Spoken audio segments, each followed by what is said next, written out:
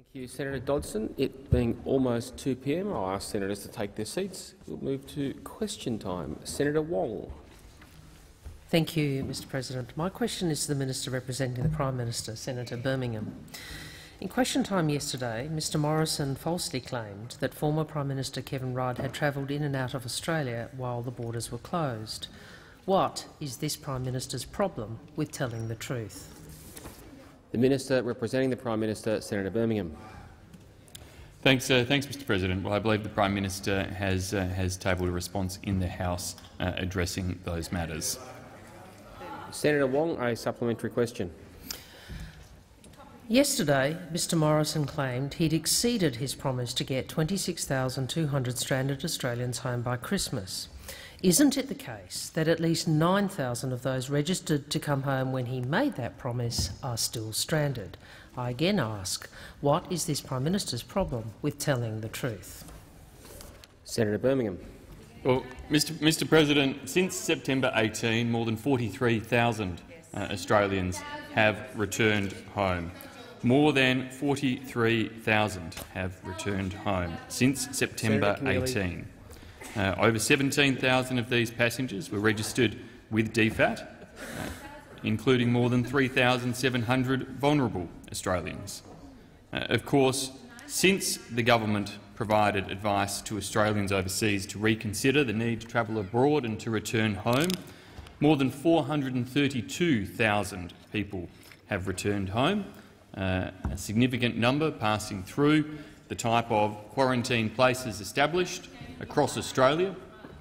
Those quarantine places are capped and are limited. We are working, as we have been, as closely with the states as possible to make sure there is as many opportunities as can be for Australians to return home, but to do so in a way that poses no threat to the safety Order. of Australia Senator and our Birmingham, management time of for the COVID. answers expired. Senator Wong, a final supplementary question.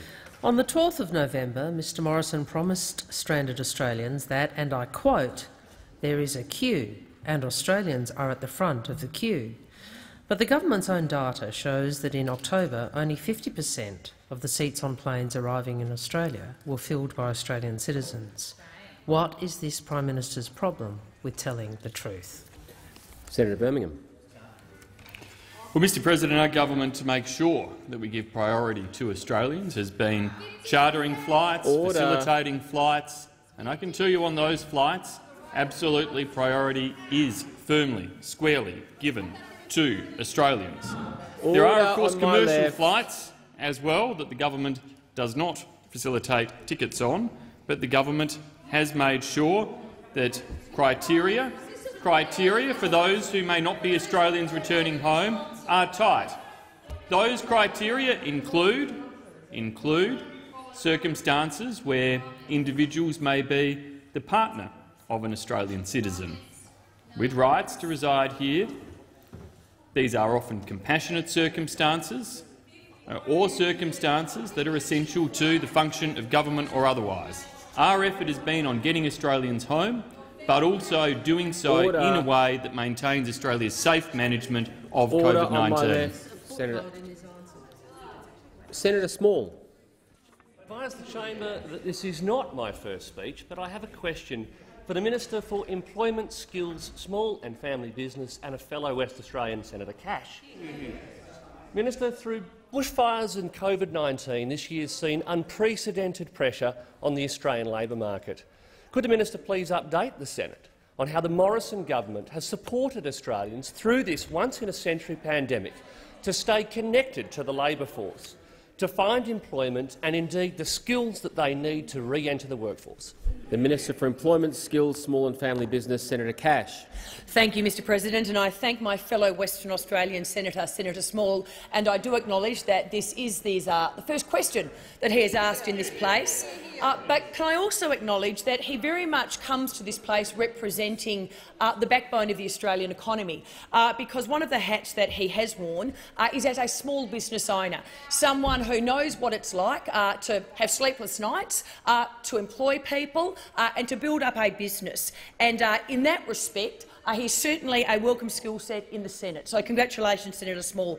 But, Mr President, um, as Australians would be aware, We have performed better than other nations when it comes to uh, the health response to COVID-19 uh, and certainly on the economic front when we look at nearly every other country uh, in the world.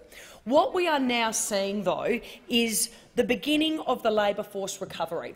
And over the last few months we've seen it's around 648,500 Australians returning to work as lockdowns ease. Um, and as is now evident as you ease those restrictions, as you ease those lockdowns, more and more businesses are able to open their doors uh, and more and more Australians are able to return to work. Uh, our JobKeeper program has been, of course, instrumental in keeping employees connected to their employment. Uh, it is Australia's largest wage subsidy program, and uh, it has kept around 3.8 million Australians connected to their employer, and it's directly saved, it is estimated, at least 700,000 jobs, uh, building the foundation for our economic recovery. However, Mr President, as the Prime Minister says, we know that uh, there remains a long road ahead. And certainly when you look at the employment services uh, caseload, it has increased substantially since COVID-19 hit. At the onset of COVID-19, though, the government had acted quickly to ensure that our employment services providers Order, was Senator resourced Cash, to deal with the, the answer influx. has expired. Senator Small, a supplementary question. Indeed, Mr President. Uh, Minister, how will the government's $74 billion JobMaker plan build on the success of our existing employment services programs as we build, rebuild a stronger economy as part of our comeback, Senator Watt, from COVID-19? Senator Cash. Uh, well, Mr President, certainly the government has a number of employment programs, and these employment programs are designed to get people off welfare and into a job. Uh, and these include, Order. of course, Job Active, our Youth Jobs Path program, which looks at preparing our young people uh, who are at risk of long-term unemployment, uh, giving them the skills they need and the opportunity uh, to undertake work, and, of course, Parents Next, uh, which is a pre-employment program designed uh, for parents whose youngest child is entering school and they need to get job ready. Uh, as a government, we have in place the programs uh, that are specifically designed to improve the employability of Australians so that they are able to take that next step and gain employment. And certainly, as we emerge from COVID-19, the government wants to build on the record that we already have and improve services for our most affected regions, but also for our most disadvantaged job seekers, putting in place the policy framework to ensure that those most disadvantaged Order, Senator are Cash. able to get time into for work. the answers expired. A final supplementary question, Senator Small. Mr President, uh, can the minister outline how these programs will interact with the record investment the Morrison government has provided in skills and training to support job seekers to get the skills that they need to find new employment as the labour market recovers? Senator Cash. Well, Mr President, as this government knows, all of our policies work together. They work together to strengthen the economy so that businesses can reopen their doors uh, and employ more Australians. The policies work together as part of our $74 billion job maker plan. And, Mr President, along with putting in place the economic framework required for growth, our employment programs themselves, they support out-of-work Australians into training and vocational pathways to ensure that they have the skills that they need to get a job. And of course, this now works in conjunction with the $1 billion Job Trainer Fund, which provides up to 320,000 free or low-cost training places in areas of actual skills demand. We've worked, as I've said previously, with the states and territories on the ground to understand their actual labour market demand so that when people are looking at putting their hand up and undertaking these free or low-cost courses, they are getting skilled up for actual areas of labour market Order, demand Senator in that Cash. particular Time for state the or answer has territory. expired. Order. Order. On my Senator McAllister. Thanks very much, Mr President. My question is to the Minister for Families and Social Services, Senator Ruston. An Anglicare survey found that under the old rate of job seeker in March, 72 per cent of respondents skipped meals every week, with most skipping an average of three or four meals a week. How many job seeker recipients will be forced to skip meals because the Morrison government is refusing to grant a permanent increase? The Minister for Families and Social Services, Senator Ruston. Um, thank you very much, um, Mr. President, and I, and I thank the, the senator for her uh, for her question. Um, well, uh, I acknowledge the, the report today, uh, the Anglicare report, which um, sets out its findings from a, a, a, limited survey of 618 people around their attitudes towards income Order. support payments and mutual Order. obligations. I am unaware um, of whether this survey is a, is a, representative survey, but I would point out that it is exactly that. It is, is a survey. Um, but one of the things that I, I would say, um, Senator uh, McAllister, is that we on this side know through massive amounts of validated research um, across many different organisations uh, and, and speaking to many Australians that we know that the best way to improve outcomes for people, the best way that we can improve um, their well-being and their livelihoods is to make sure that we have a strong economy that creates jobs so people have got jobs. Because we know from surveys such as the Hilda survey that people who live in a household that do not have uh, um, employment income are much more likely to have worse wellbeing outcomes than those people that live in houses where uh, income uh, is generated through employment. So, um, you know, whilst obviously we will continue order. to work— Senator Ruston. Senator McAllister on a point of order. Yes, my point of order goes to relevance. Uh, the minister has uh, indicated that she doesn't necessarily accept the Anglicare survey results, but my question really was about how many job seeker recipients she considers will be forced to skip meals. If she doesn't accept the Anglicare results, I'd appreciate understanding what her understanding Senator of the McAllister, consequences with are. respect, you, you strayed from a point of order there uh, towards the end. Um, the minister can be directly relevant while she is talking about the survey, while she is talking about job seeker or one of the other elements of your question. Um, and so, to that extent, the minister is being directly relevant. Um, I can't instruct her how to answer the question. Senator Ruston. Thank you very much, Mr President. Um, and uh, I would, would go on to say that, the most important thing that we can do to make sure that people have got um, have got the best possible opportunity um, to be able to uh, to have the, the well-being that, that we all would like every Australian to have is to make sure that there are jobs in the economy so people can go to jobs. Uh, I'd also point out that the government remains Order. committed to supporting Australians through this pandemic. In fact, um, you know, in, in a minute coming into this place will be uh, some legislation that we seek to extend the coronavirus supplement yeah. to enable people to be able to have that additional level of support as we recover from this pandemic. Order, Senator Ruston. Senator McAllister, a supplementary question. Thanks, Mr President. Following the, additional, uh, the initial reduction to the coronavirus supplement, an ACOSS survey found in September that 80 per cent of respondents would skip meals and reduce their intake of fresh fruit and vegetables. How many children will be forced to skip meals and miss out on fresh fruit and vegetables because the Morrison government is refusing to grant a permanent increase to job seeker support to their parents? Senator Ruston.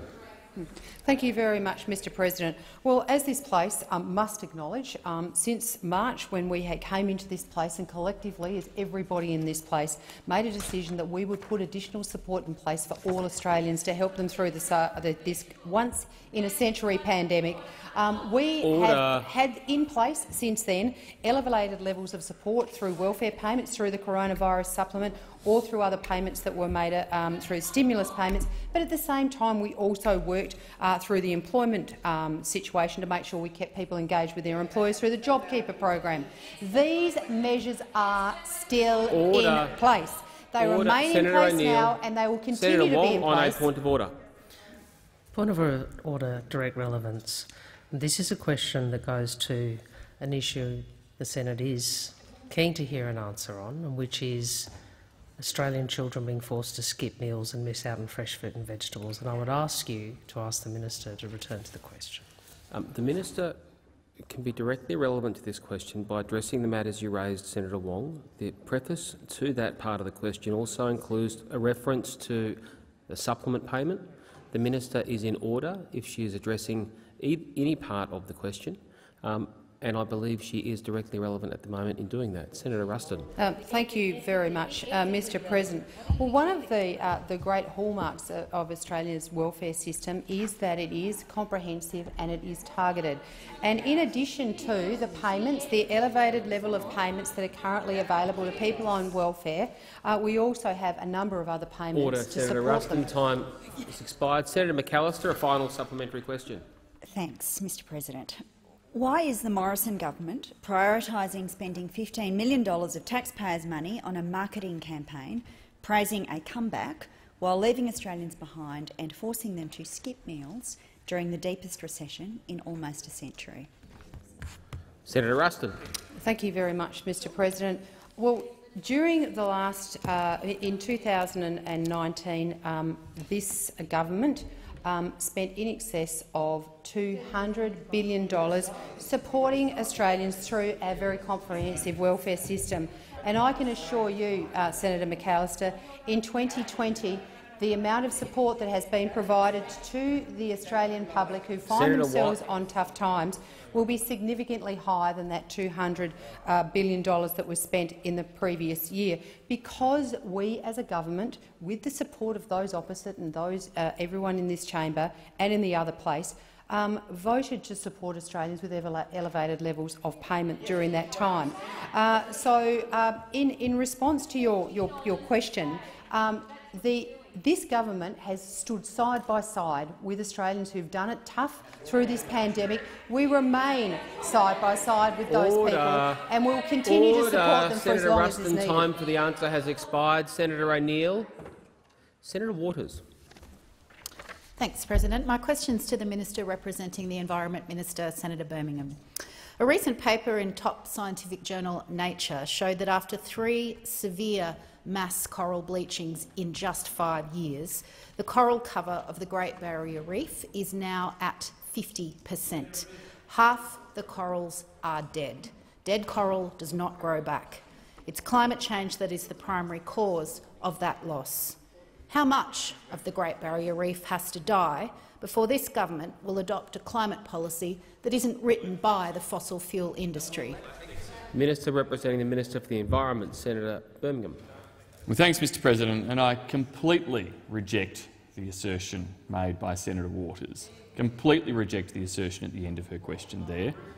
Our government, our government consistently has worked to make sure that Australia has the policies in place to implement the commitments that Australia has made through the Kyoto Protocol, through stage two of the Kyoto Protocol commitment period, and we now continue to work hard to implement policies necessary to meet our commitments in relation to the Paris Agreement. We have done that recognising that Australia alone doesn't solve the issues in relation to climate change. Australia alone plays a role, and I'll, I'll, take, I'll take Senator Whish-Wilson's interjection quite, uh, quite happily, Mr President. The leadership we've shown as a country is the leadership of a nation who makes commitments, delivers on our commitments and exceeds on the delivery of our commitments. We will be quite happy. Order, we will be quite happy to go anywhere and explain Australia's achievements, the achievements of Australian businesses, Order. of Australian people, of Australian farmers, of all of those Australians who have contributed towards reducing Australia's emissions, who have enabled Australia to reduce our emissions by 16.6 per cent since 2005. And we have done so knowing that these steps around global cooperation are necessary to tackle issues including related to the protection of the Great Barrier Reef.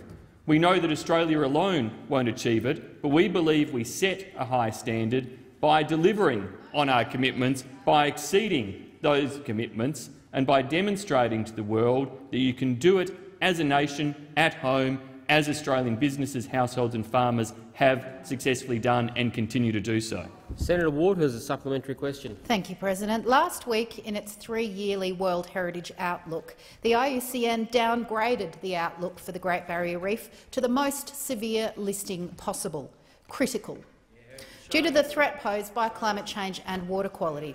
Next year, the World Heritage Committee will once again consider whether to list the Great Barrier Reef as World Heritage in danger. This is the last warning that Australia is going to get before a potential in danger listing that would decimate the tourism industry. Will you treat this as a wake-up call Senator or not? Waters. Time for the questions expired. Senator Birmingham. Thanks, Mr President. Well, in addition to the action that Australia has taken uh, on emissions reduction uh, and that we continue to take uh, in collaboration with the rest of the world, we have absolutely acted to invest uh, through our reef plans in co- collaboration with the Queensland Government to tackle other threats and challenges to the Great Barrier Reef. Uh, we know that sedimentary runoff uh, can and does have a real impact in relation to water quality in the reef, and that's why we've invested in a range of different practical initiatives to be able to support and improve that water quality in the reef, to tackle practical issues like the crown of thorns starfish uh, and ensure that works to minimise and eradicate the impact of crown, and crown of thorns continue as a result of the type of investments made by our government across a range of different mechanisms to support the reef health and to ensure it continues to be a crucial asset for Australia and our ecology. Senator Waters, a final supplementary question. Thank you, President. The reason for both the mass coral deaths and the IUCN outlook of critical is climate change. At one and a half degrees, we lose 90 uh, per cent of global coral reefs, and at 2 degrees we lose all of them. Your government's policies have us on track for 4.4 degrees of warming. When will you adopt strong 2030 targets and an actual climate plan to give the reef any hope of survival? Senator Birmingham. Well, Mr President, a few points there. Firstly is the oversimplification uh, of the challenges the reef faces by the Australian Greens.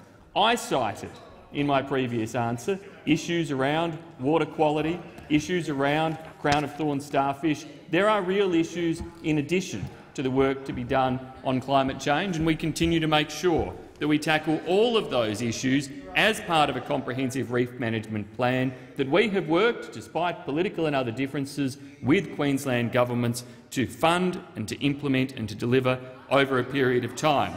When it comes, Mr President, to the work around emissions reduction, I again point to the fact that Australia, since 2005, has achieved a 16.6 reduction in our emissions.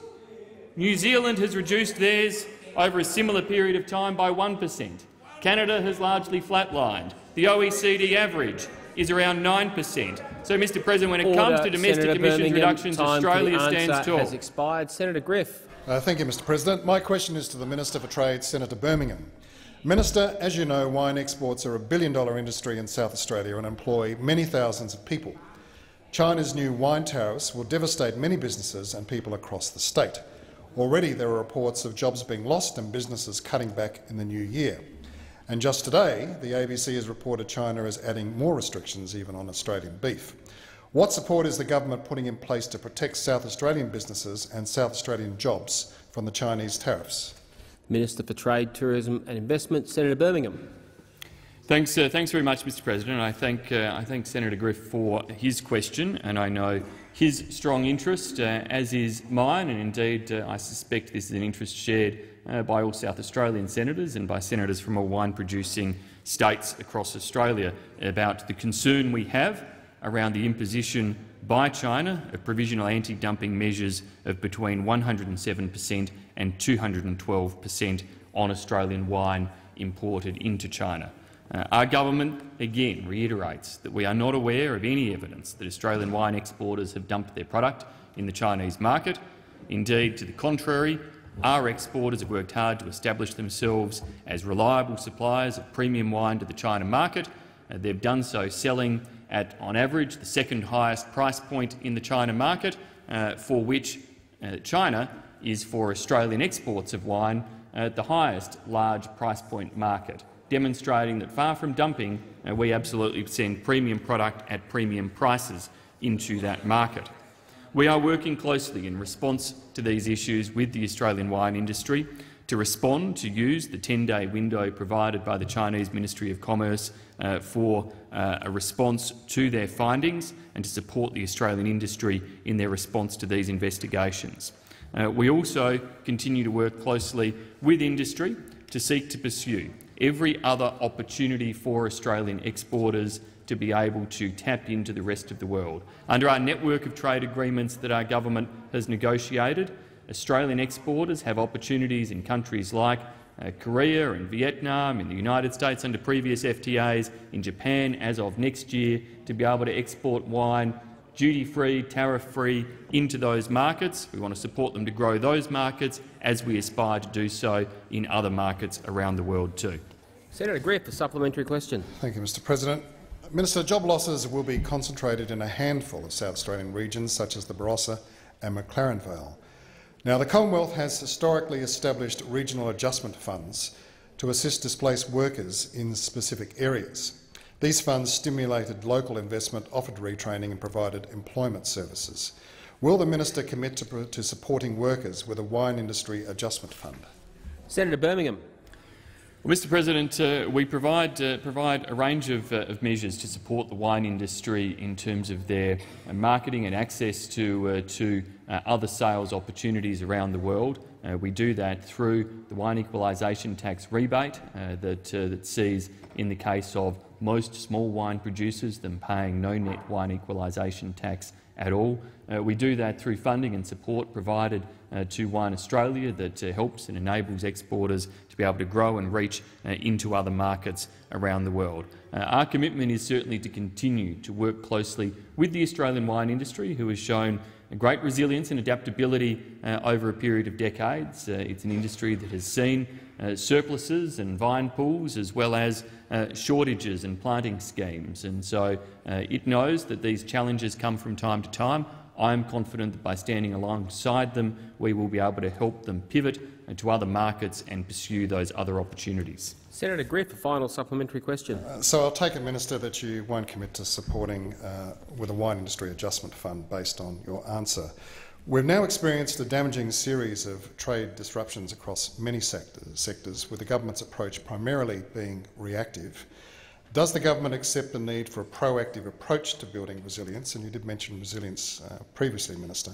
And if so, what actions are you planning to take? Senator Birmingham. Thanks, uh, thanks, Mr. President. I thank, uh, I thank Senator Griff. Uh, the, the, resilience in terms of opportunities for Australian exporters comes from uh, the range of opportunities and avenues that, uh, that are available to them.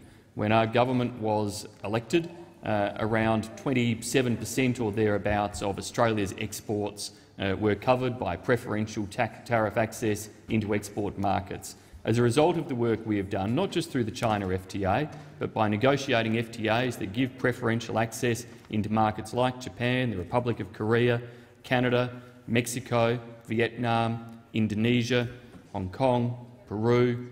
These are a range of markets for which we have provided opportunities and avenues for Australian exporters to enjoy a comparative advantage. We stand alongside them through our export market development grants, through the work of our Austrade officers, through a range of other support to help them grow their exports, which they have done across a range of markets, Order. which we will Senator continue Birmingham, to support them to do. Senator Kitching. Thank you, Mr President. My question is to the Minister representing the Prime Minister, Senator Birmingham.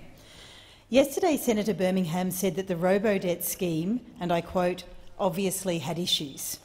When did the Morrison government first become aware that the robo-debt scheme obviously had issues? Minister representing the Prime Minister, Senator Birmingham. Thanks, Mr President. Well, uh, as I did yesterday, I refer the senator to the answers that, uh, that Senator Ruston has given on those matters. Senator Kitching, a supplementary question. Was the government told in a department, department brief on or around 1 March 2017 that a third of robo-debts had been reassessed and reduced to $0. Senator Birmingham. Well, Mr, Mr President, in relation to a, a, particular departmental brief of a particular date, uh, I will take that on notice, uh, Mr President, and, uh, and, seek to provide uh, a response to, uh, to the senator.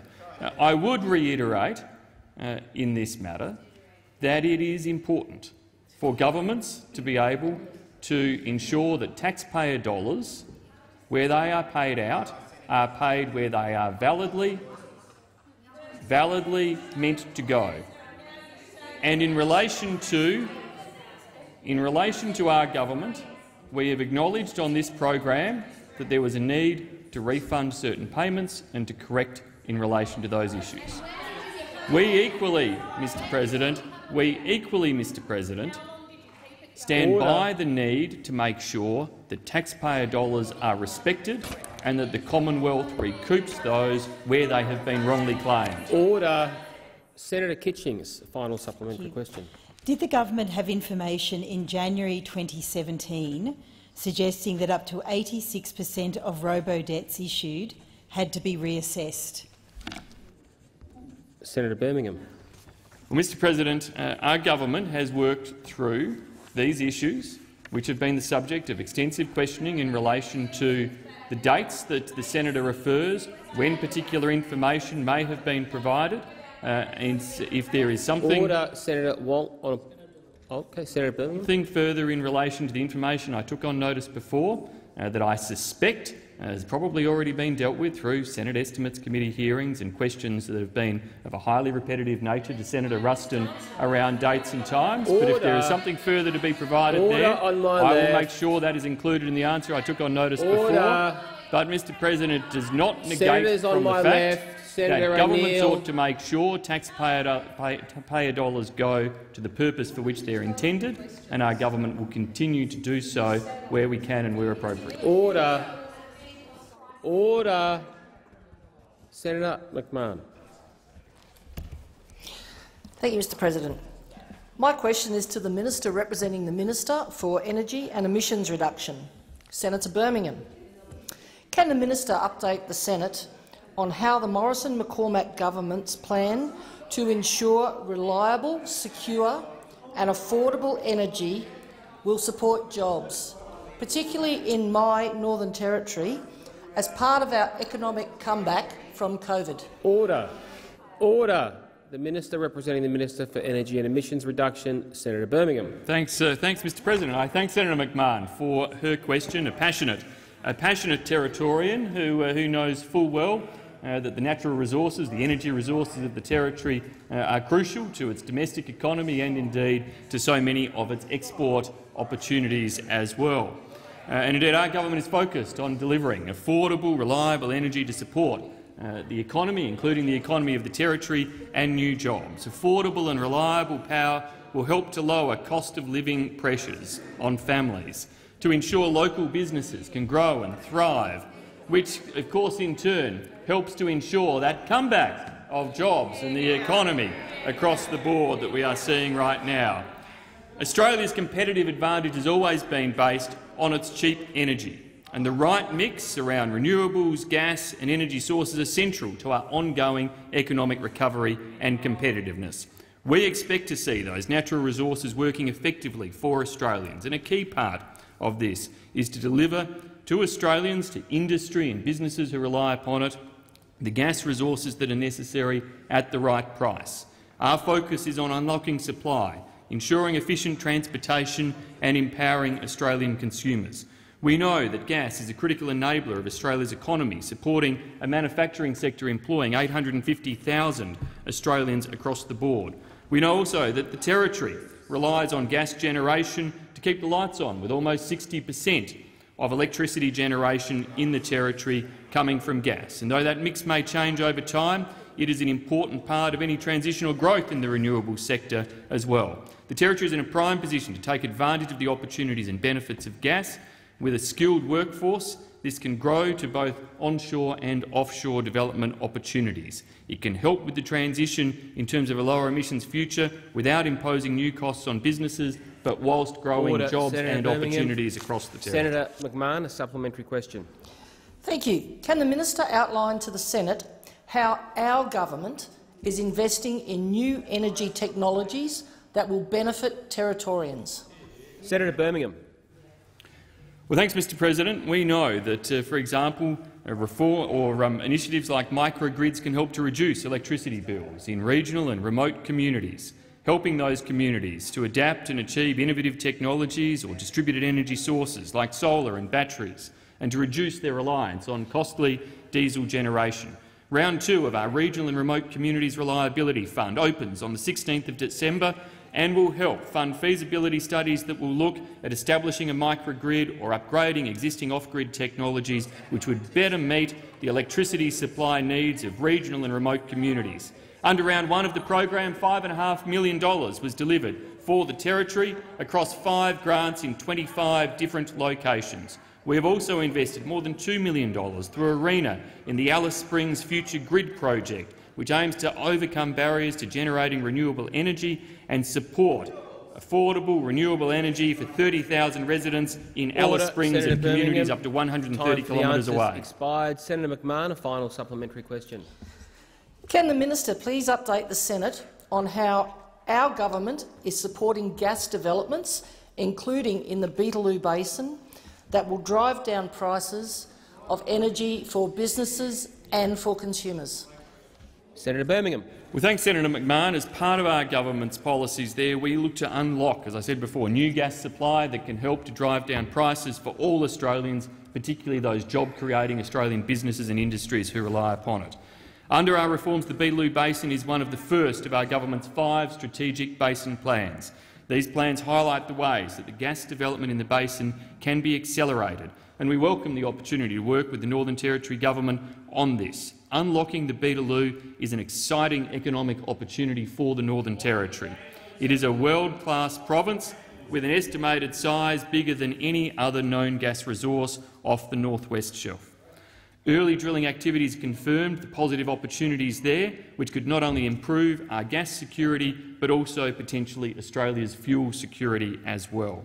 The development of gas reserves in the Beetaloo has the potential to generate billions of dollars for the territory economy and create over 6,000 jobs. This is great opportunity for the territory, and we are Birmingham. committed Time to for the delivering answer upon it. has expired. Senator Lambie. Order. Order. Senator Lambie has the call.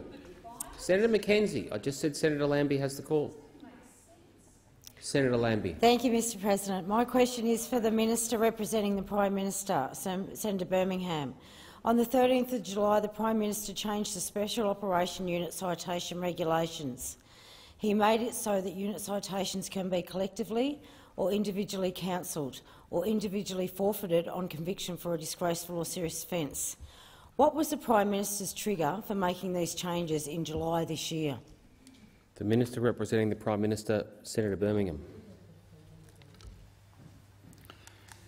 Thanks, uh, thanks, um, Mr. President, and uh, uh, and indeed, um, if we uh, if we go back over the history of uh, some of the steps around citations in uh, in February 2018, I understand the then Minister for Defence Personnel sought approval to make a number of amendments to Defence Honours and Awards, including in relation to recommendations from inquiries uh, by the Defence Honours and Awards Appeal Tribunal in 14 and 15 relating to withholding and forfeiture of awards.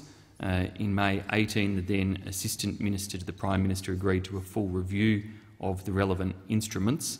Uh, following extensive drafting efforts in May 2020, the Minister for Defence recommended a range of changes uh, to Australian Operational Service Medal, the Australian Defence Medal and unit citations, um, and, uh, and those were then given effect uh, in accordance with the normal process in July 2020. So, Senator, uh, Senator Lambie, uh, the point, I guess, of going through that history is, uh, is that, in fact, it dates right back, if we to 2015, when a full review of defence honours and awards, medals and instruments were undertaken.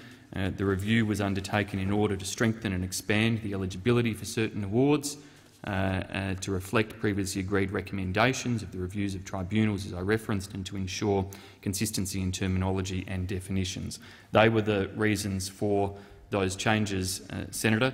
Uh, I, uh, I, as I did last week, I want to make sure in relation to all of these matters that, that I restate very much the fact that our government, I know you, uh, and indeed I am sure all members of this place, um, acknowledge uh, the service and sacrifice uh, of those who have served us, uh, including in Afghanistan, uh, and that the overwhelming vast majority have done so with pride, distinction and honour. Order, Senator Birmingham. Senator Lambie, a supplementary qu question.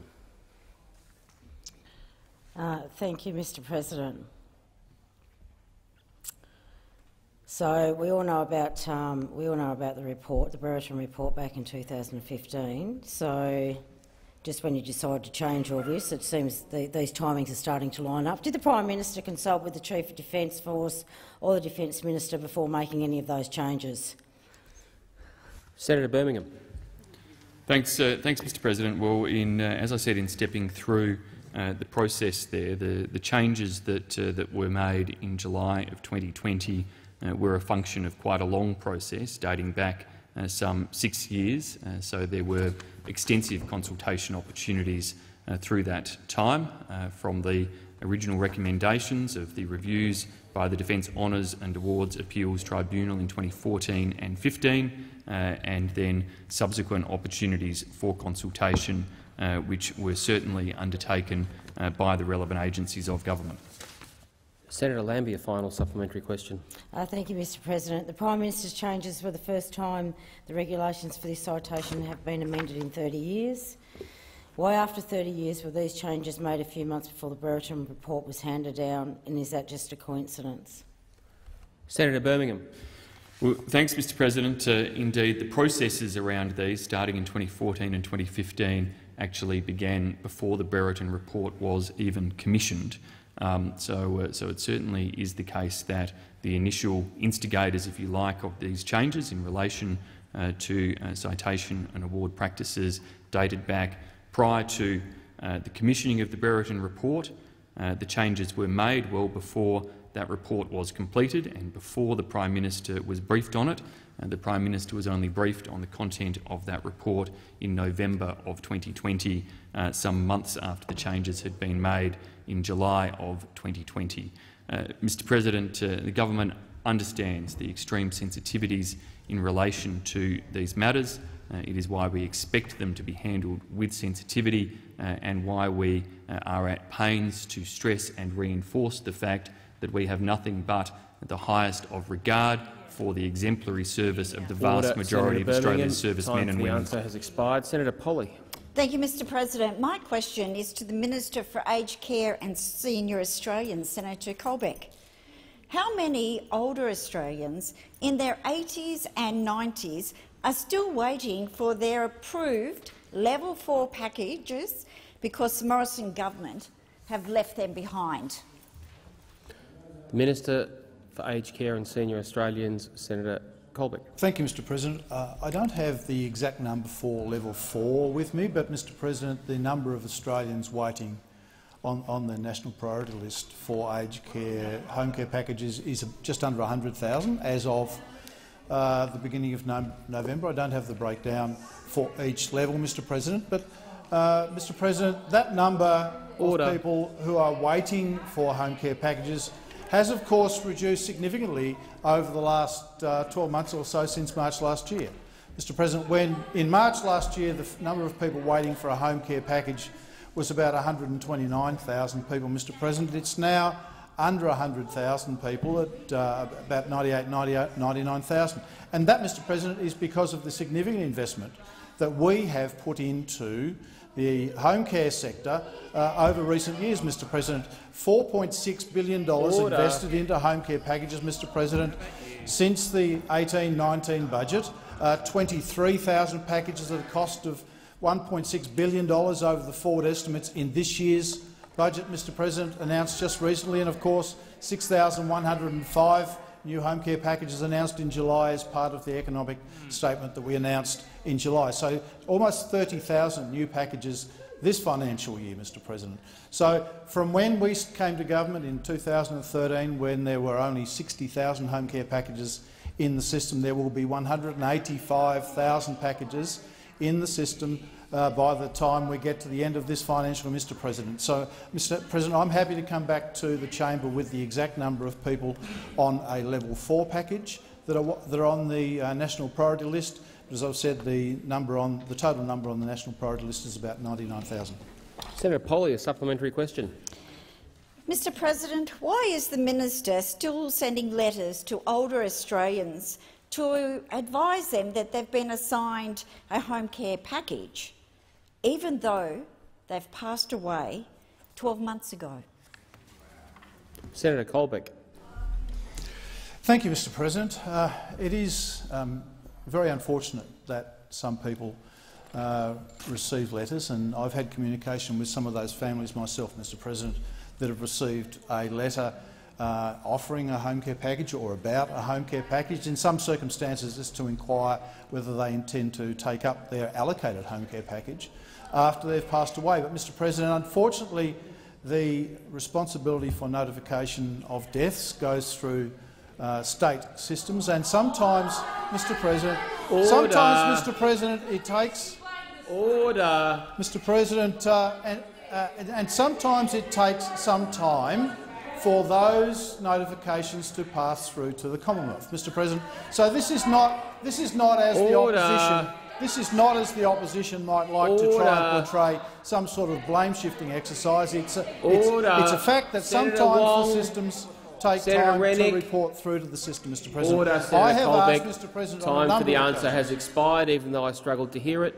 Senator Polley, a final supplementary question.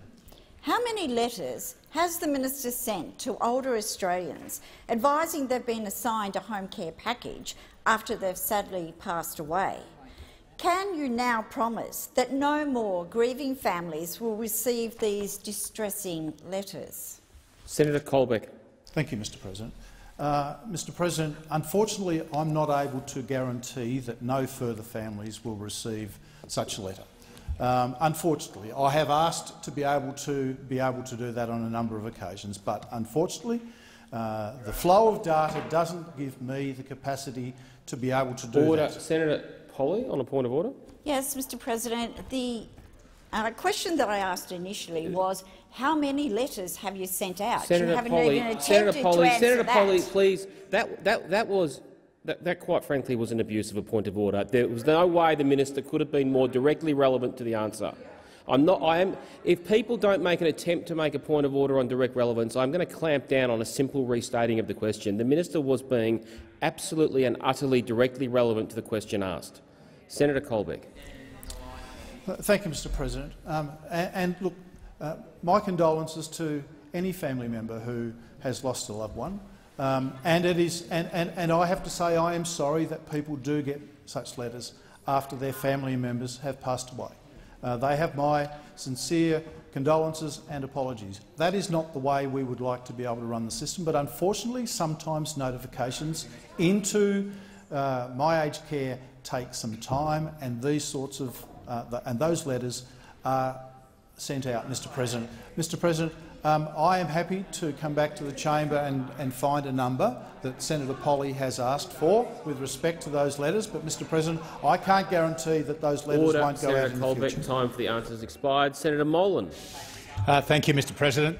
My question is to the Minister for Defence, uh, Senator Reynolds. Uh, can the minister provide an update on Defence's international operations, deployments and engagements in 2020 to help make Australia more secure? Minister for Defence, Senator Reynolds. Well, thank you very much, Mr President, and I thank Senator Molan for that question and also for his service to our nation. This year has challenged all Australians, as in individuals but also as a nation. So in many ways, 2020 has also been a year like no other for defence. But Defence adapted very quickly in February and continued to work COVID-19 safe. Vital exercises and engagements have continued. 4,800 ADF personnel will have deployed overseas this year. The Air Force completed more than 53,000 uh, hours of flying. We've had uh, 25 ships at sea throughout the year. The Army undertook more than 100 international engagements activities involving 900 personnel. We've supported our Pacific family, including during humanitarian emergencies. Our, larger, our largest regional presence deployment involved five ships and engagements with 11 regional partners. In 2020, we've concluded mentoring and training missions in both Afghanistan and Iraq. We continue to contribute to coalitions dedicated to defeating terrorism, including in Iraq and in Syria. And we are supporting our UN partners by contributing to peacekeeping efforts. I most sincerely thank all Defence and ADF members who have served domestically and internationally in what has been such a challenging year. But I especially thank all their families whose support allowed those in uniform and in the department to serve our nation with such great distinction this year. And I ask all Australians to spare a thought for our personnel deployed away from home, both domestically and internationally this Christmas, and I thank them all for their service. Senator Molan, a supplementary question. Uh, thank you, Mr President, and thank you, Minister. Uh, can the minister provide an update on the ADF's domestic activities, including defence assistance to the civil community in 2020? Senator Reynolds. Well, thank you very much, Mr President. And This has been an extraordinary year for the ADF and Defence in here in Australia. We've conducted the two largest ever domestic operations to support our nation in our nation's history. We have assisted thousands and thousands of Australians uh, throughout the year. First of all, Operation Bushfire Assist involved more than 8,200 ADF personnel. It was the largest ever mobilisation of the ADF in response to a domestic disaster. This included thousands of evacuations, transporting emergency services personnel, setting up shelters, delivering meals and so much more. While the embers were still burning, however, Defence started Operation COVID-19 Assist, which has now become our largest ever domestic uh, assistance operation. So far, as of today, over 11,000 Defence and ADF personnel have deployed. Has expired. Senator Molan, a final supplementary. Uh, thank you, uh, Mr President. Uh, as part of Defence's ex uh, uh, extensive assistance to Commonwealth, state and territory authorities uh, during this year, how has the Royal Australian Air Force's number 34 Squadron helped to provide continuity of government and our democratic processes in 2020? Senator Reynolds. Well, thank you very much, Mr President, and I thank the senator for the question. And I'm sure I speak on behalf of each and every senator in this place here today when I thank most sincerely Air Force's 34 Squadron for its work supporting the parliament and executive government during the pandemic. More than 1,400 passengers, members of parliament and staff predominantly, have been transported over 267 legs. In the early days of the pandemic, we simply could not have been able to start the parliament without their safe and efficient service, their sense of humour, their adaptability and their commitment to this nation. So, on behalf of us all, I thank 34 Squadron for your service this year. You have kept our federal parliament and the government running this year. Thank you. Senator Green. Thank you, Mr President. My question is to the Minister for Youth and Sport, Senator Colbeck. The Morrison government-controlled Public Accounts and Audit Committee found the administration of the $100 million sports rorts scandal, and I quote, did not satisfy public and community expectations. Does the minister agree with the findings of the government-controlled committee, which includes Coalition Senators Chandler, O'Sullivan and Scarr. Order. Order. Minister for Youth and Sport, Senator Colbeck. Thank you, Mr President, and I thank uh, Senator Green for her question. And, Mr President, I thank the senators and the House of Reps members on the Public Accounts and Audit Committee for their work on the, on the report, Mr President. Um, uh, the report was tabled in the House yesterday, obviously, and Mr President, uh, uh, the government will consider the recommendations in the report uh, appropriately, and then we will, as process dictates, respond to the parliament, Mr President. Uh, Mr President, the report itself considered a number of um, programs as a part of its consideration. Uh, and uh, as I've said, Mr President, we will consider the report in the usual manner and uh, make a government response. Mr President, but I would say in respect of the particular recommendations that both the ANAO made uh, and that were made in the uh, Public Accounts and Audit uh, Committee, Joint Committee of Public Accounts and Audit yesterday, that the government has already taken a number of actions with respect to the application of the government grant guidelines uh, and their alignment, Mr President. The Sport Australia accepted all three recommendations that the ANAO made to them with respect to uh, the ANAO report, Mr President, uh, and the, uh, the government accepted the recommendation that was directed to uh, the government uh, and has put in place measures to effect all of the recommendations Order. of the ANAO report, Mr President. And recommendations in the report handed down yesterday had a very, very similar context, Mr President. So we will consider uh, those Order. we will consider those matters, Mr President, uh, and we will report back to the parliament in the usual way. Order. Senator Green, a supplementary question. Thank you, Mr President. The government-controlled committee found there was, and I quote, significant uncertainty regarding the legal basis for the minister's role in approving grants. Does the minister agree that Senator McKenzie should appear before the Select Committee on Administration of Sports Grants to explain her understanding of decision-making, including the involvement of the Prime Minister? Order. Senator Colbeck. Mr President, Mr President, it's not up to me to determine what another senator does. That is, that is not my role, Mr President. Mr Order. President, my understanding, my Order understanding on of the my circumstances. left. Order. Senator Wong. Senator Watt. Senator Colbeck, continue. Thank you, Mr President. And my understanding is that uh, uh, Minister, uh, Senator McKenzie has provided a substantial submission to the committee. Uh, she's provided uh, uh, support to the committee with respect to their work, Mr President, but it is not the role of one individual senator in this place, any individual senator, to dictate what another senator might do, Mr President. We are all elected here in our own rights. We are all elected here in our own rights. Order. Senator Wong. Sorry, Senator Birmingham. A, a- a point of order, Mr. President. You have called Senator Wong to order quite a number of A times. A couple of times, actually, today. Senator Wong. Thank you, Mr. Thank President. you. Senator Colbeck. Oh, Senator Wong. Yeah, well, on- on the point of order, I accept that, but it is not about one person. Senator it's about Wong, the Westminster please system, Mr seat. President. Senator Wong, I had been calling you to order. Senator Colbeck, have you to continue? Thank you, Mr President.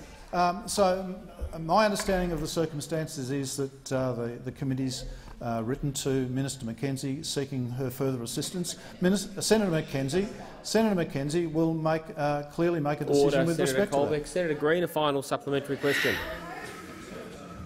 Thank you, Mr President. Senator, Senator Green is on her feet. Senator Watt. Senator Pratt. Senator Green. If even the government-controlled committee, which includes Senators Chandler, O'Sullivan and Scarr, acknowledges evidence of the favouritism shown to government seats and MPs and Liberal Party candidates in the allocation of sport grants, why can't the Prime Minister tell the truth? Senator Colbeck. Mr President, I, I'm, not, I'm not sure that I would characterise the report in the context that Senator Green tries to portray it here in the chamber today, Mr President. Uh, Mr President, uh, having had a look at the report, having considered its recommendations, it talks about the processes of the operation of a number of grant programs, including the Community Sport Infrastructure Grants Program, Mr President. Uh, so uh, we will consider the report uh, as appropriate, uh, and we will respond to the parliament in the usual way, Mr President. And I don't accept the characterisation of the mindset of my colleagues uh, on that committee that Senator Green tries to portray in her question. Senator McLachlan. Thank you, Mr President. My question is to the Minister representing the Minister for Home Affairs. Will the minister update the House on how the Morrison government is working to keep Australians safe from the threat of terrorism and violent extremist ideologies? The Minister representing the Minister for Home Affairs, Senator Cash. Thank you, Mr President, and uh, I thank Senator McLachlan for the question. And, uh, Mr President, as you'd be aware, a fundamental priority of the Morrison government uh, is to keep Australia and Australians safe. Uh, despite the onset of the COVID-19 pandemic, the reality is that the threat of terrorism has unfortunately not subsided. The Morrison government has, however, invested record amounts of funding in our law enforcement agencies. Uh, the investment we're making in, for example, ASIO, into AUSTRAC and other agencies within the Ho Department of Home Affairs, uh, it is directed at keeping Australians safe. We know that during COVID-19, many terrorist organisations have sought to exploit the increased time that Australians have spent at home and online. Targeting young and impressionable minds, they have shamelessly exploited this situation to propagate information, ideologies and dangerous and destructive views that seek to do real harm to Australians, not only in our country but across the Western world. What we have unfortunately seen in Paris, in the United States, across Asia uh, and the Middle East are the sort of atrocities that these people would seek to perpetrate in Australia and on Australian soil against innocent men, women and children. As a government, we need to ensure that we are able to deal with the threat of terrorism whenever it may eventuate. Since September 2014, we have had 117 people charged as a result of counter-terrorism operations, and there are 22 people currently before the courts for terrorism-related offences. These are people that would seek to do significant harm to Australia and Australians. But the Morrison government is working night and day to make sure they are not successful. Senator McLachlan, a supplementary question. How is the Morrison government investing to keep Australians safe online and protect Australia from increasing cybersecurity threats? Senator Cash. Uh, Mr President, Australia's cybersecurity capabilities are strong, uh, but as we'd all be aware, the threats we face online are increasing. It is estimated that a significant cyber attack impacting Australia for four weeks could cost the economy as much as $30 billion and an estimated 163,000 jobs. As part of our 2020-2021 budget, uh, the government will provide an additional $202 million to deliver the 2020 cyber security strategy, creating a more secure online world for all Australians. This now takes the government's total funding for the strategy to $1.7 billion to provide a cyber security uplift that is fit for purpose in the evolving online environment.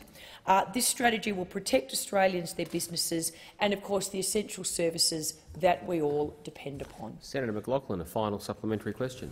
As Australians begin to travel again over the Christmas period, what will the Morrison government be doing to ensure that they can enjoy their holidays and reunite with their families safely and securely? Senator Cash. Well, Mr President, since the Morrison government was elected to office, we have now passed 20 tranches of national security legislation. This legislation has ensured that Australia has the most modern and up-to-date laws that deal with the reality of encryption and the ways in which terrorist groups conceal their influencing activities on the internet. Uh, this is supporting our law enforcement agencies to uh, detect and disrupt threats as soon as possible for the safety of all Australians. All Australians should be reassured that over the Christmas period and over the New Year period, uh, our officers will be working 24-7 on the front line. And there are, of course, many people in the Department of Home Affairs who will be supporting them in that work. Uh, on behalf of uh, the government senators, I would like to commend those officers for the work they do to keep Australia and Australians safe. Senator Birmingham. Thanks, Mr President. I ask that further questions be placed on notice.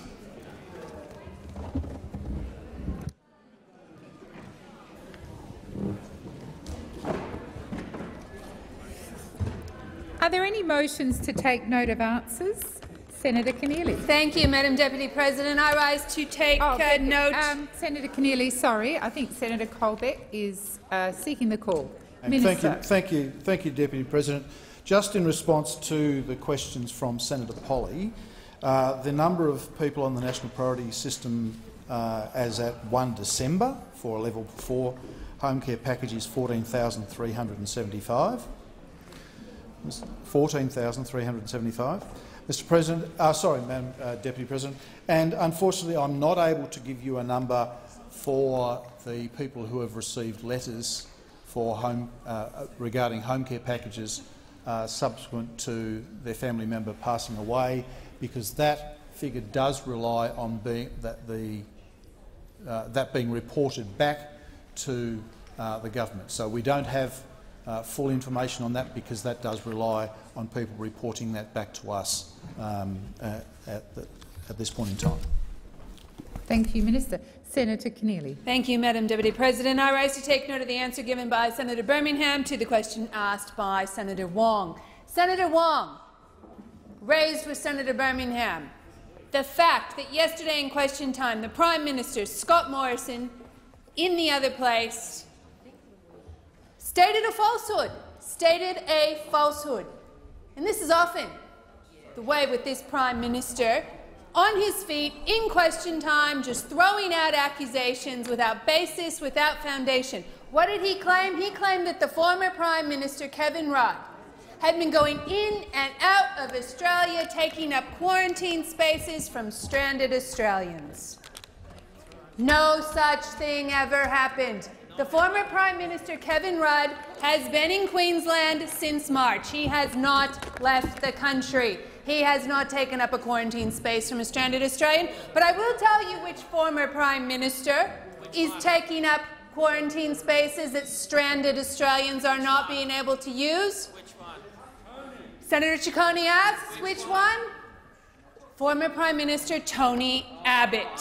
Former Prime Minister Tony Abbott travelling overseas, not on Australian government business, on UK government business, on UK government business, going overseas, coming back, taking up a quarantine space, going overseas again, coming back, taking up a quarantine space. That is two stranded Australians who will not spend Christmas with their families because of former Prime Minister Tony Abbott not former Prime Minister Rudd, as Scott Morrison falsely claimed, but former Prime Minister Tony Abbott. We haven't heard about that from Scott Morrison.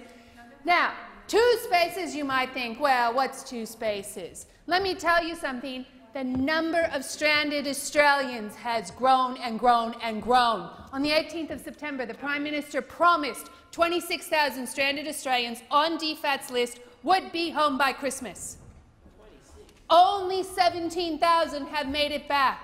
There are some 9,000 people who are on that DFAT list on the 18th of September who literally have two days to make it back to Australia, go through quarantine and get out to be able to celebrate Christmas with their families. And of course they have a hope of celebrating Christmas with their families. The Prime Minister promised it would happen. Now when the Prime Minister makes a promise, maybe the people of Australia should be able to rely on it as a citizen of Australia, you should be able to rely on your Prime Minister's promises. And when he looks down the barrel of a camera and he says, I'm going to get all those stranded Australians home by Christmas, well, of course stranded Australians think they can rely on that. But what do we know about this Prime Minister, Scott Morrison? He has trouble telling the truth. He's all about the headline, never about the delivery. Always there for the photo op, never there for the follow-up. And it is cruel. In this circumstance, it is cruel. There are stranded Australians. As, as Senator Gallagher and Senator Watt and I on the COVID committee have heard, there are stranded Australians who are trying to come back to this country. They've been trying to come back since March. They have had flights cancelled. They have spent tens of thousands of dollars, fifty, sixty, seventy thousand dollars trying to get flights back to Australia. They have lost their homes. They have lost their jobs. They are being sent to homeless shelters. They are living off food banks and charities. They are running foul of visa conditions in other countries. They are facing a Northern Hemisphere winter in the middle of a global pandemic. It is un-Australian to leave your mates behind. But that is precisely what the Prime Minister, Scott Morrison, is doing. He is leaving Australians behind. He has made them a promise, and he is breaking that promise, and he is breaking their hearts.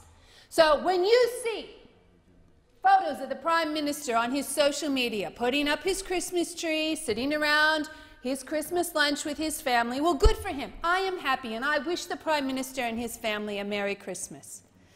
But when we see those photos, let us not forget that there are now 40 1,000 stranded Australians stuck overseas, barred from coming back to their country by this Prime Minister. And you know what? He has a safe COVID way to bring them back. Jane Halton, his hand-picked expert, has handed him a report that's told him how to increase quarantine capacity, told him that the federal government should take responsibility, told him the federal government should open up a quarantine facility with a human health response zone, told him that they had a responsibility to bring these stranded Australians home in the middle of a global pandemic. This Prime Minister has such a problem with the truth, and this Prime Minister is letting people down and leaving Australians behind. Thank you, Senator Keneally. Senator Antic. Thank you, Madam Acting Deputy President. Well, I, I have to say I, I enjoyed that, and I enjoyed it for the following reasons. Um, that was the very, very definition of the sound of straws being clutched at. Like you'd actually hear them hitting the ground. Those straws were being clutched at and they were hitting the ground as you, as you would expect. And um, there were a number of uh, fairly flowery statements that were made there. I did like, and I have to pay tribute to this one, bringing back the spectre of uh, Tony Abbott, former Prime Minister Tony Abbott gets a run on this one. And it's good to see the uh, Australian Labor Party uh, finding a way to bring him back in, even into this debate. Because I've got, I can do a few of those myself. I've still got an issue with Gough Whitlam and blue poles, so we can always go back and we can always run over that. But there are issues. There are issues that we need to. There are issues that we need to fact check because I know my friends on the other side of the chamber love an ABC fact check. Their mates at the ABC do a fact check. They do them all the time. I don't think they do them well. I'm going to do one well for you because there are a series of facts which are overlooked. And the fact of the matter here is that the Prime Minister has made the statement yesterday, he's corrected it. It happens. The truth of the matter is that this government has helped innumerate numbers of people return to Australia during what has been a very, very difficult period. And I know that the, my friends opposite do like to ebb and flow when it comes to understanding the very difficult, difficult nature of this period, this COVID-19 pandemic. This has not been a run-of-the-mill uh, plane to go and collect some people overseas. We've seen over 432,000 Australians return from overseas since the government recommended that people reconsider the need to travel abroad back in March. 432,000 people. Now, my friends across there uh, on the other side of the chamber like to make it sound like everyone's just been abandoned. Everyone's just been abandoned. The government's just dropped hands and left everyone stranded on various different hotspots. It's just not the case. Uh, the fact is the COVID-19 pandemic is still, as we speak, not over. Another fact for my friends on the other side of the chamber, and the government's continuing to support Australians overseas while at the same time managing that delicate balancing act of protecting Australians' health and safety uh, and the community at home. And since the 18th of September, we are talking two months ago, 43,000 Australians have been returned home. 43,000 Australians. Once again, that's a fact check, not an ABC fact check, but a real one. Over 17,000 of these passengers have been registered with DFAT, including more than 3,700 vulnerable Australians. Um, what this means in real terms is that during the pandemic, 32,000 Australian citizens and permanent residents have returned home on over 370 flights. That's 370 flights in the middle of a pandemic. Uh, that is not just sending uh, Cessna down to collect a couple of mates down at the RSL Bowls Club on Kangaroo Island. 76 of these flights have been direct directly facilitated by the government, and they've gone into difficult locations such as Peru, South Africa, India and UK. And let me say that negotiating uh, the borders, negotiating the uh, experience with those different governments has been no mean feat. The government has delivered and it has done it well. Twelve commercial flights have been facilitated by the government since 23 October, returning 1,700 passengers. Now, this includes a facilitated flight uh, with Qantas from Delhi to Hobart that landed uh, just this last Sunday with around 120 passengers. Once again, at the risk of repeating it, these are facts, uh, not ABC facts, but facts. Um, uh, 39,000 Australians are currently registered with DFAT and wish to return home. Now, some may not take up the immediate option to return, while others may seek to return home uh, at a later date due to particular circumstances. That, that is the nature of the ebb and flow of the situation that DFAT and the government finds itself in uh, in the middle of this pandemic. The DFAT administered hardship program um, has actually distributed over $10 million to 1,900 Australians overseas, covering the cost of accommodation, subsistence, um, flights as they may be. Uh, Australians have been as well catered for as can possibly be expected during this very difficult time. Uh, it is just incorrect to try and politicise this, to try and raise the spectre of uh, Prime Ministers past, to do whatever other straw-clutching exercises we've seen. Um, this government's allocated $60 million to support Australians to return home. Melbourne Airport, the second largest, um, has been taking international arrivals since July. Um, and DFAT, uh, of course, uh, will not remove any Australians from its registration database without its consent. This program continues. It continues to bring Australians home, and it continues to do so in a timely and safe manner. Thank you, Mr. Um, Senator Antic. Your time has expired. Senator Gallacher. Uh, thank you, Madam, De Acting, uh, Madam Deputy President. And I I look forward to the time when Senator Antic's training wheels come off and he can get through five minutes without a heap of notes. But I've got to take one exception. I mean, Blue Poles, for goodness sake, it's worth 350 million. 350 million. It's got to be a good decision 40 years ago to buy that. But anyway, let's get back to the basics here. we have a Prime Minister who misled about the activities of a former Prime Minister. And obviously he did that on advice of his uh, department, which clearly was uh, errant advice. But instead of coming out, looking down the camera and saying, I stuffed up, I made, a, I made an awful mistake there, I apologise for that mistake and moving on, I hear that he tables a letter in the parliament. He doesn't address the issue directly as Australians like to, like to see when you make a mistake, fess up, own up, apologise and move on. No, he tables a letter, tries to avoid the scrutiny of it. And, you know, all of this angst that's on these Australians who are stranded far away in difficult circumstances could be avoided, as I said earlier in this week, if they allocated one-tenth of the political will and finances that they did when they set up a regional processing facility in Nauru to take care of 657 people. They spent approaching $500 million in a year. Now, we don't expect $500 million to be dispersed around the globe to bring people home. They'd probably stay there if you did that. They'd take the million each and stay there. But the problem is there's no acceptance that human quarantine is a federal responsibility. And when the history of this pandemic is written, it'll be one of the failures of this government. They didn't set the responsibility at the appropriate place, take charge, set the standard all around the country, and as their own expert said, if necessary, set up a processing facility. They did it in uh, the irregular maritime arrivals area, stop the boats. Here they have the availability of aircraft. They could just lease them, sell the seats in them or whatever, get people to appropriate places, process them, 14 days, allow them to get home. And as Senator Keneally and others have said, there are an immense number of Australians who are not going to see their family at Christmas. And I think that's the, to the Prime Minister's enduring shame. You don't promise if you can't deliver. I have no problem if he said it's too difficult to do it for Christmas, if it's, if it's logistically impossible, or if he was cautious. But no, he had bravado and said, I'll have all home for Christmas. And by the way, that former Labor Prime Minister's buggering the system up, taking up extra spaces. All erroneous. And he's not going to get people home for Christmas. And if I had relatives and family uh, stranded overseas, I'd be beside myself because some of the places they're stranded in are not in a good space. And I have cousins in England and the United Kingdom, and some of those cousins haven't seen their grandchildren for months. Newborn grandchildren in the same country. Can you imagine what it's like for a parent to have a child or a, a son, daughter, or an aged parent overseas can't get home? I met someone in the parliament very recently. Their, their wife went to visit an ill relative in, um, in the United Kingdom, and now it looks like March before she'll get a flight home. Now, they're mature people and they can conquer that distance, but, but it's not good. And we have a Prime Minister who promised.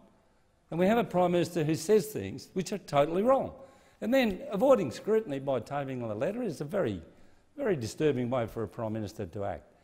And if you look at what's happened with uh, the Honourable Matthias Cormann, take a plane, mate, take a plane. Just go and fly around all the places. You, you, you'll get COVID, so you better take a private plane. And it's a private job. I don't think it's a job that is obligated to Australia. I think it's his, his position. So why would he get a $4,300 an hour plane to go and get a private position? And that, that, that's got to be stood against the test of someone who's ill and wants to get home to their family for Christmas. And, and Australians looking at that, it'll be a fail, a total fail. So, you know, Prime Minister Morrison, and I don't say that he does everything badly, but he's obviously taken some really poor advice in respect to the former Prime Minister, Labor Prime Minister. And the way he handled that, I think, is pretty low. Australians expect a higher standard. If that was Bob Hawke or someone else, they'd get up and say, look, I was stuffed up. I'm really sorry. I made a mistake and I won't do it again, and off they go. But to table a letter saying, oh, you know, I might have misled the parliament, that's very low standard. Thank you, Senator Gallacher. Senator Scarr. Thank you, Madam Deputy President. Well, I must say I agree with uh, Senator Gallacher in relation to his observation with respect to blue poles. I think, uh, I think it was, uh, and I did get an acknowledgement from Senator Gallacher as he left, I think it was actually a great investment and uh, Um, I, uh, I think it's probably worth somewhere north of $350 million uh, the current day. Um, this issue with respect to former prime ministers and travel. Now, I think it was, and, I, and, and my wife Louise, if she's watching, would remind me, I think it was about a month ago that my wife was walking our two rescued greyhounds, Chloe and Faye, and actually walked past our former Prime Minister, uh, Kevin Rudd, uh, who uh, has a family member who lives in our suburbs, so, and had a convivial exchange with him. Um, and it's a bit of a shame, it's a bit of a shame, Madam Deputy President, that we can't bring that conviviality with respect to former Prime Ministers into this place, because I think they all should be treated. I think all former Prime Ministers should be treated with the respect that their service to our country commands. And I say that with respect to Prime Ministers from both sides of politics. And the fact of the matter is, the fact of the matter is that when our Prime Minister became aware of the fact that a statement he made in the House of Representatives in response to a personal attack against a former Prime Minister in Tony Abbott, let's not forget that, let's not forget that, it was in response to a personal attack against a former Prime Minister in terms of in relation to Tony Abbott. In response to that, in response to that, our Prime Minister said something which was incorrect, and then at the first opportunity, at the first opportunity, he wrote to the clerk, and this is what he said. I'm writing to inform you that in question time today I made the following statement in response to a question from the member for Corio in relation to Australians returning home from the pandemic based on information I understood to be correct at the time. Quote, I thank the member for his question and wonder why he'd want to bring personalities into this, that Mr Rudd has done the same thing, given that Mr Rudd has done the same, same thing. End quote. I have subsequently been advised that Mr Rudd has not travelled internationally during the pandemic and was not one of the 95,525 individuals who had been independently granted an exemption. The letter goes on. I also apologise to Mr Rudd for the statement and am pleased to correct the record. End quote. What is not transparent about that, Madam Deputy President? What is not transparent about that? At the first opportunity, at the first opportunity, our Prime Minister corrected the record corrected the record and issued an apology to former Prime Minister Rudd. I think that entirely meets the expectations of the entire of, of the Australian community with respect to how a Prime Minister should respond in such, a, in such an occasion. And then, when that issue is raised by Senator Keneally, she reverts back. She reverts back to attacking former Prime Minister Tony Abbott. She can't resist it. Senator Keneally can't resist the personal attack. She can't resist it. She reverts back to the personal attack on former Prime Minister Tony Abbott, who is not in a position not in a position to defend himself in this place. He's not in a position to defend himself in this place. And then Senator Keneally makes a it was it was quite a demeaning, sneering comment about the Morrison family celebrating Christmas lunch on Christmas Day. Totally gratuitous, totally unnecessary, does nothing to advance public debate in this nation, absolutely nothing. And it represents all about politics, all about that type of politics which Australians are absolutely fed up with. Sure, let's talk about let's talk about the priority of getting Australians home. Absolutely. And I've spoken to Australians trying to get home. I've spoken to their families. I've done everything in my office to facilitate that. And I actually give my congratulations. I actually give my congratulations to our staff and personnel within DFAT with respect to everything they've done in response to this one in 100 year pandemic. I think they have been extraordinary in very difficult cases, in very extreme circumstances. Let us not forget that Melbourne International Airport our second largest international airport in this country, has been closed for months and months and months because of the debacle in Victoria. But you never hear that mentioned. You never hear that mentioned on the other side. You never hear that mentioned on the other side. You don't hear mentioned about the impact that has had in terms of logistics, in terms of bringing Australian, Australians home. I wish all my fellow Australians well as we lead up to Christmas and hope as many Thank of you, them Senator get home Scarr. as possible. Your time has expired. Senator Ciccone. Thank you, Madam Deputy President. And I think um, it's a bit unfair today that we're hearing the government trying to blame the opposition to try and raise, I think, is a very valid point which is why is it that the government went out publicly and made the offer, made the promise that they would be bringing all these Aussies home? And then to try and, you know, quite frankly, slur and put words in Senator Keneally's mouth that somehow it was her fault for raising this as a matter of importance today. I mean, come on. If we want to start to talk about the facts, Senator Keneally has been right from day one in setting the record straight. Why was it that the Prime Minister promised, promised people, promised families and gave them hope that they would have their loved ones in Australia by Christmas around the kitchen table? Because that's not going to happen to 40,000 Australians, and we know that. You know, the, the attitude from the government senators today, um, quite disappointing, in fact very dismissive and just lacking the acknowledgement that there is a problem. You know, is this the type of attitude that this government needs to set in terms of the standards that we all have to you know, accept going into Christmas and in, into the year 2021? You know, and for some facts, some fun facts, if you know, Senator Antic earlier on was talking about facts, well, the fact is that DFAT, DFAT released the details of 2,700 Aussies. Now, but you don't hear that coming across from the government side, do you? You know, and I know that DFAT staff are doing a great job and trying their best to get everyone back home.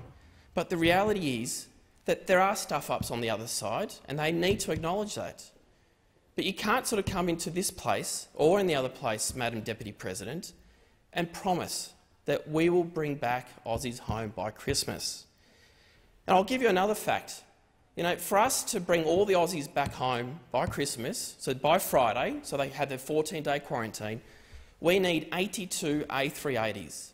82 A380s. Now, unfortunately, Qantas only has 12 of them.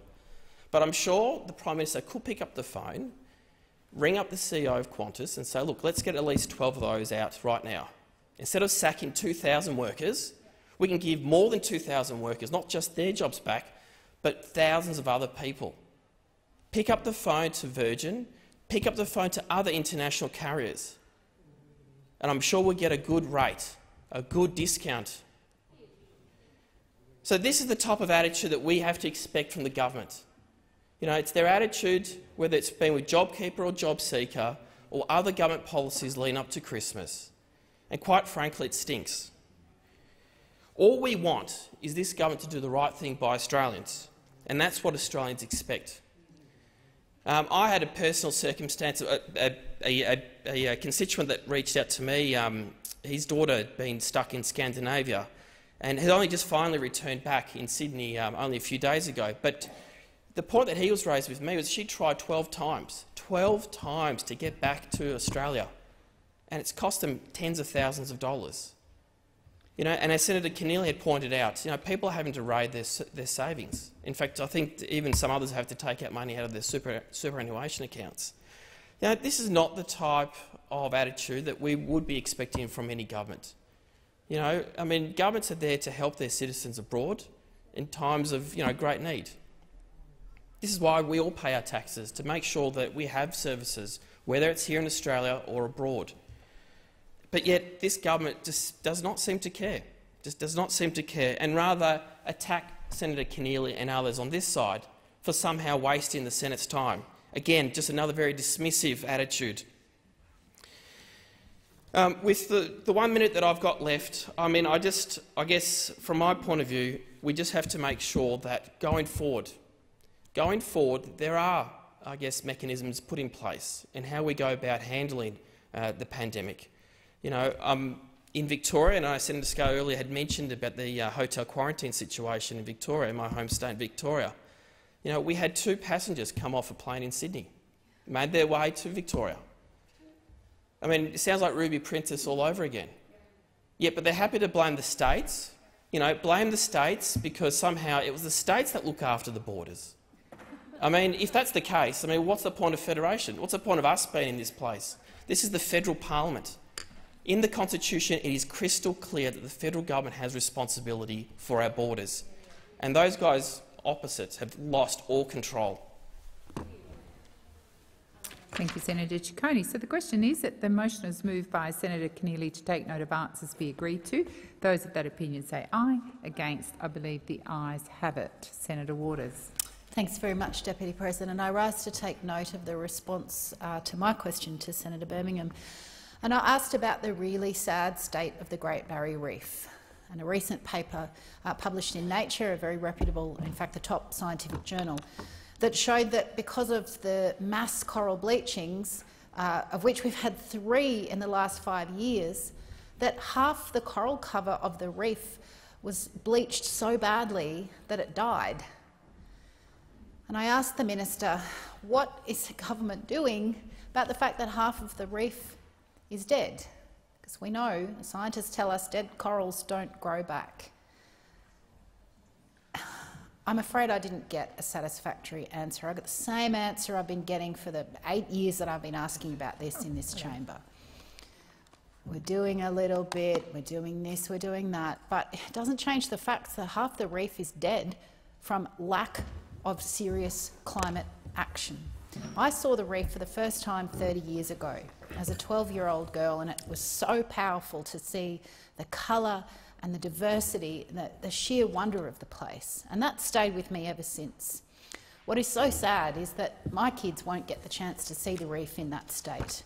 And in fact, none of the kids in this country might get the chance to see the reef at all at this rate, certainly not in 30 years' time, um, because of the trajectory that we're on um, with the weak and pathetic climate targets that this government has set. We know that climate change is the biggest threat to the reef. Yes, there are other threats as well. Yes, there's water quality concerns. Yes, there's crown of thorns. Yes, there's shipping problems.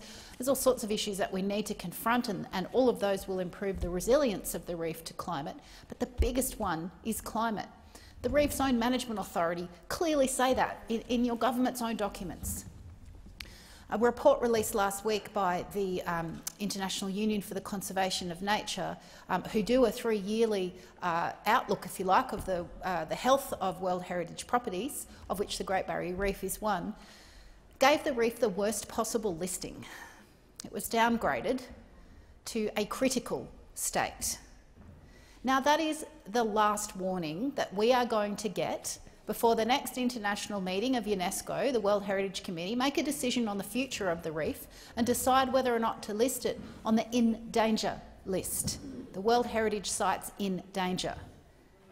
Now, the scientists would say that actually the reef belongs on that list, but the tourism industry would be decimated if the Great Barrier Reef is listed, listed as in danger.